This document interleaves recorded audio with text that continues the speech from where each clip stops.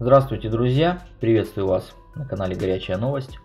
Суд отказал в проведении повторной психологической экспертизы Рамилю Шамсуддинову. Читинский военный гарнизонный суд отказал в ходатайстве адвокату Равилю Тугушеву о проведении повторной и дополнительной психологической экспертизы Рамилю Тугушеву. Об этом 16 декабря сообщил корреспондент вечерки, побывавший на заседании. В судебном заседании посредством видеоконференции приняли участие два эксперта из московского НИИ имени Сербского, психиатр и психолог, проводившие психолого-психиатрический осмотр обвиняемого Рамиля Шамсуддинова. Их вердикт.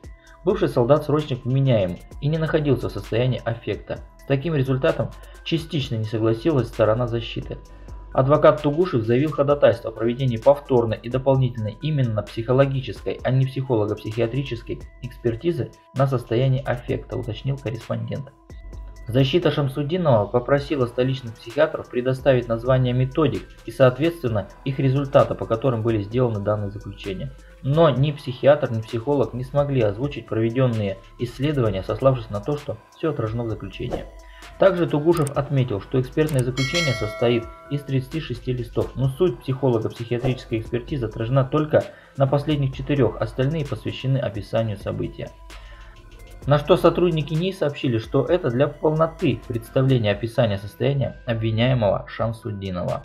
Также психолог и психиатр не смогли дать конкретный ответ, кто и какие проводил исследования в своем направлении а, в данном заключении о Шамсуддинове. Все их ответы сводились только к единому мнению комиссии.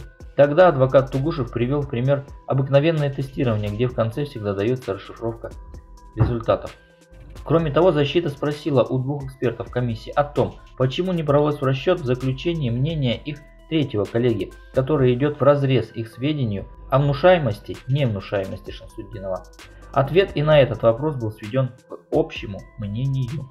Друзья, я также отмечу, что во время проведения экспертизы один из специалистов сказал Шамсуддинову, что стирать чужие носки – это нормально. Когда судья спросил, говорил эксперт такие слова или нет, он ответил, что они моделировали ситуацию, то есть по сути моделировали разные ситуации, разные события. В итоге психолого-психиатрическая экспертиза, которая проводилась Рамилем Шамсудиновым в НИИ имени Серского в Москве, признала его вменяемым. А при этом защита считает, что эксперты не брали в расчет психологическое состояние бывшего солдата-срочника, не спавшего несколько суток и испытавшего дискомфорт со стороны остальных военнослужащих, которое могло повлиять на его состояние и действия.